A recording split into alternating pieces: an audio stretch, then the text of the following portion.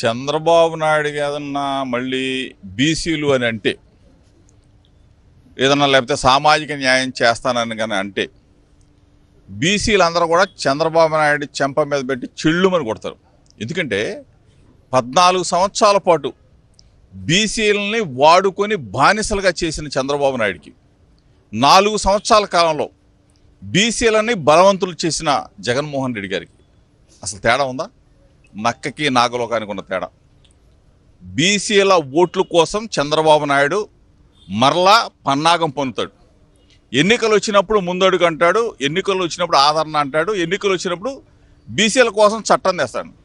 పద్నాలుగు సంవత్సరాలు ముఖ్యమంత్రిగా చేసాం మరి ఏ చట్టం తేలేకపోయావా? ఏం బేహలేకపోయావా ఇప్పుడు ఎందుకు అంటున్నావు?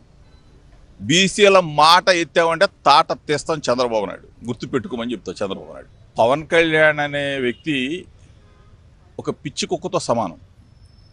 వీధి కుక్కలు మురుగుతూ ఉంటాయి జనం కొడితే పారిపోతూ ఉంటాయి.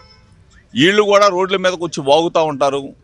రేపు జనం కదా రెండు వేల పంతొమ్మిదిలో జనం ఎట్లా కొట్టారో మరలా చంద్రబాబు నాయుడు పవన్ కళ్యాణ్ని ఈ లోకేష్ని తరిమి తరిమి కొడతారు. రెండు వేల ఇరవై నాలుగు ఎన్నికల్లో నూట యాభై ఒక్క పైచిలుకు స్థానాలతో వైఎస్ఆర్ కాంగ్రెస్ పార్టీ విజయ దుందుబి మోగించబోతా ఉంది.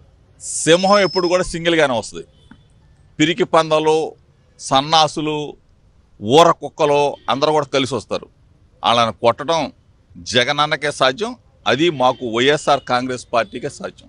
అసలు మేము ఏ పార్టీతో పొత్తు పెట్టుకోం ఏ పార్టీతో పొత్తు పెట్టుకోవాల్సిన అవసరం జగన్మోహన్ రెడ్డి గారికి వైఎస్ఆర్ కాంగ్రెస్ పార్టీకి ఉండదు. ఎప్పుడు కూడా సింహం సింగిల్గానే పోటీ చేస్తుంది.